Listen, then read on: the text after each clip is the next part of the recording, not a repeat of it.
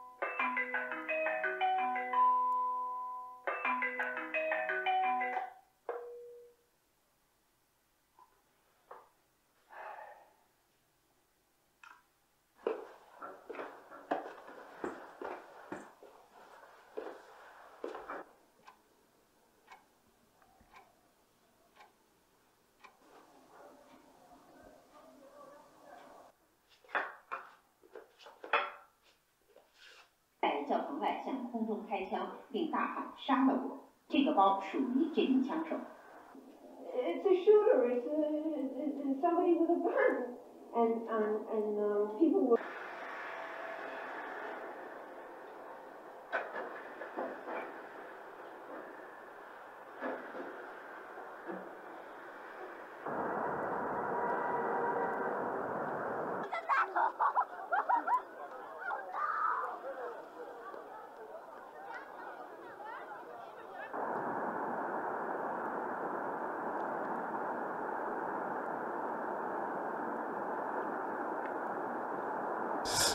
自己静下来想，我老了怎么办？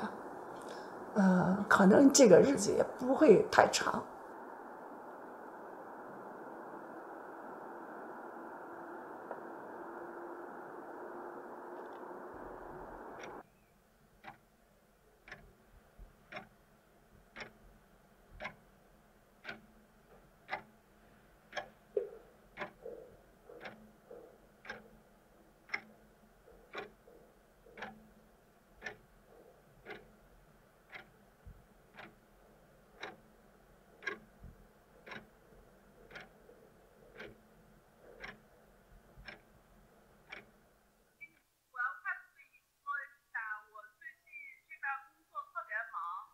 嗯。这个手术没接到你的电话。嗯。妈妈，我特别想。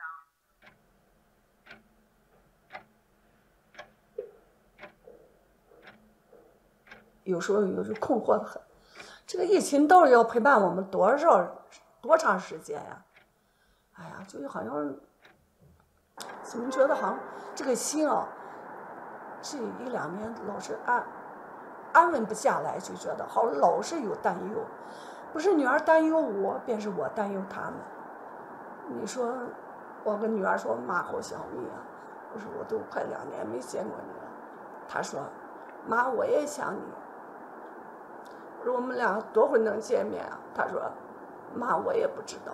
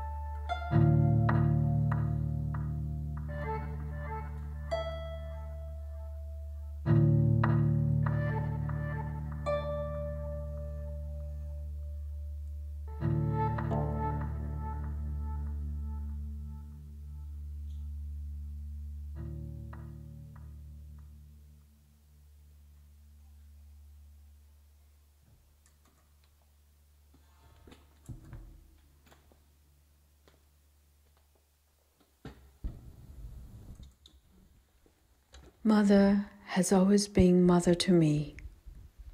I almost forgot she was once a little girl, a young woman, before she became my mother. Now, coming to her old age, she is always wondering where did time go? Why time passes so fast? It's like everything happened in a flash.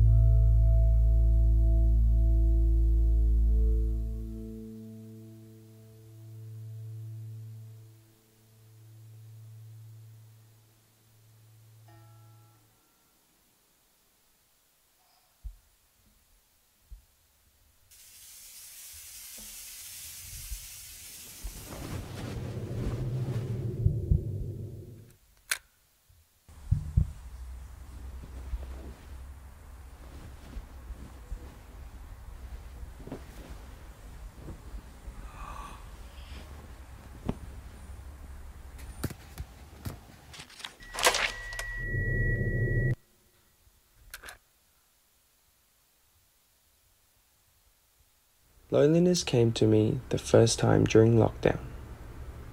It is hard. I try to keep busy.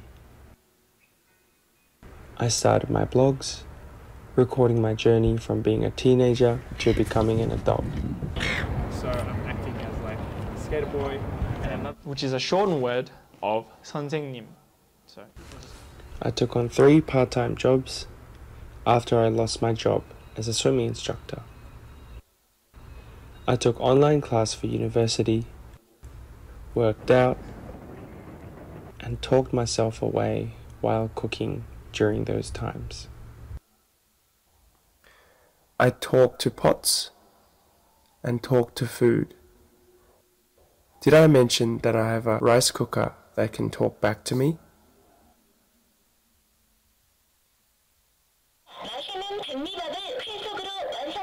완성하였습니다. 맛있게 잘 저어주세요. 맛있겠다. Looking pretty good. I've come to appreciate being alone now while acknowledging what loneliness is. 공반장. 우리 I almost forget what it's like to be with my friends and family. I miss them.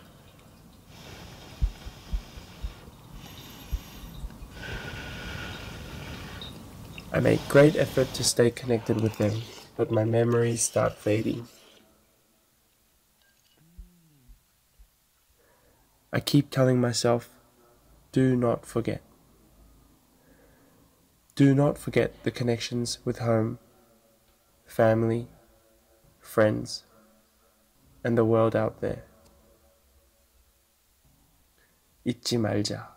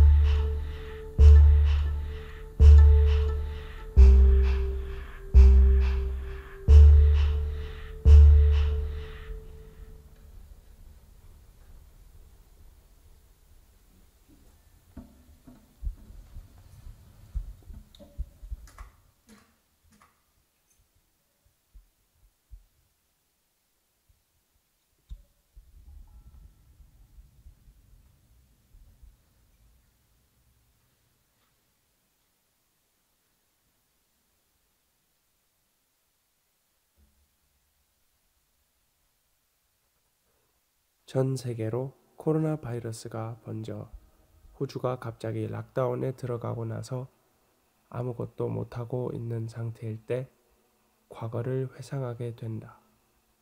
그 과거는 마치 한 편의 영화나 꿈? 달달한 꿈 같기도 하다. 주로 자러 가기 전에 나는 생각한다. 꿈을 통해 내가 가고 싶은 곳으로 갈 수 있으면 얼마나 좋을까 하고. 보고 싶은 사람들. 한국에 있는 할머니들이 제일 보고 싶다. 어릴 때 나를 예뻐해 주시고 사랑해 주신 할머니들. 외할머니가 해 주시던 짭짤한 고등어와 밥. 겨울에 찾아가면 추워서 전기장판에 앉았다 누워서 같이 테레비를 보던 그때도 생각난다. 친할머니의 부지런하신 모습. 내가 한국에서 처음 다니던 초등학교 근처로 가서 할머니와 손잡고 칼국수를 먹으러 가던 그때가 생각난다. 지금은 다 큰 나지만 아직도 할 수 있는 것들이어서 락다운이 끝나고 그때 했던 것들을 할머니들과 다시 함께 해보려고 한다. 음식을 떠올리면 집밥 있는 집밥이 그립다. 그 진수성찬. 우리 집은 식구가 많지는 않지만 아침부터 저녁까지 든든하게 챙겨 먹는 편이라 우리의 밥상에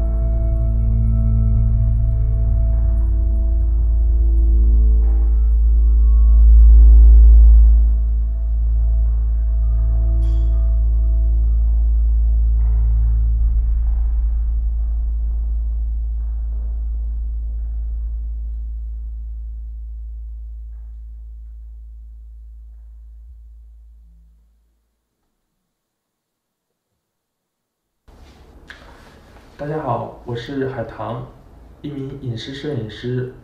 我老婆叫李婷，一名医院急诊科的护士，也是一个在救治工作中感染了新型冠状病毒肺炎的一名患者。在没有疫情之前，就一家人很平淡，但是过得很幸福。到了十二月中旬的时候吧，他就，对他当时已经有一些警惕了，跟我说这个病人的这种疑似的，就是相同症状的人，呃，越来越多了。然后他说他有点害怕，不想去医院。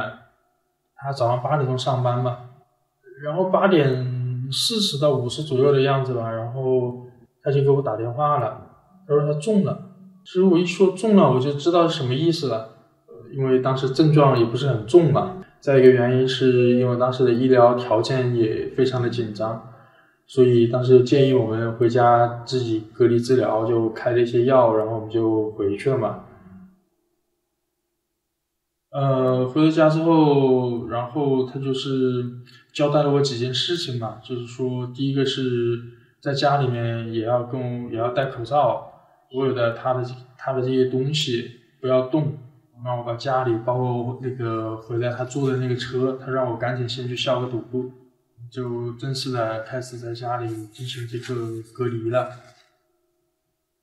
到了下午一点钟开始的时候，他就身体上就出现反应了，就开始发烧了，就开始低烧了。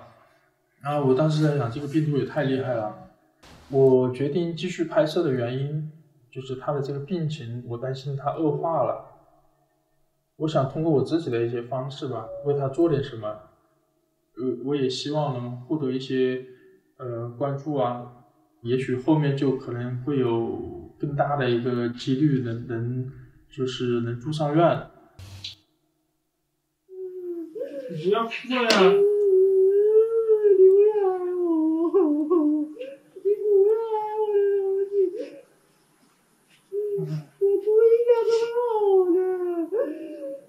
他的这个病情就发展到一个高峰了，就是浑身就很难受，然后都烧到三十九度多了。我不要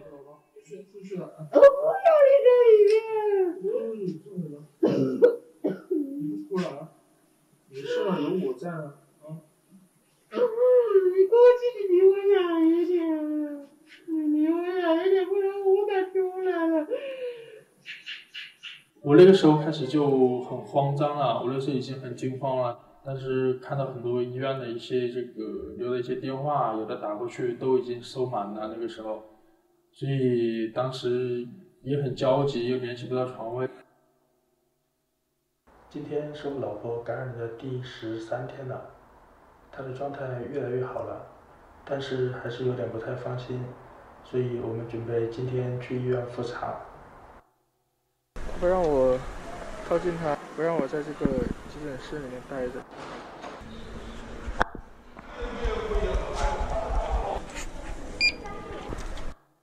医生说 CT 片子上面显示感染有加重，我心里开始慌了。我有些后悔没有早点带他来医院。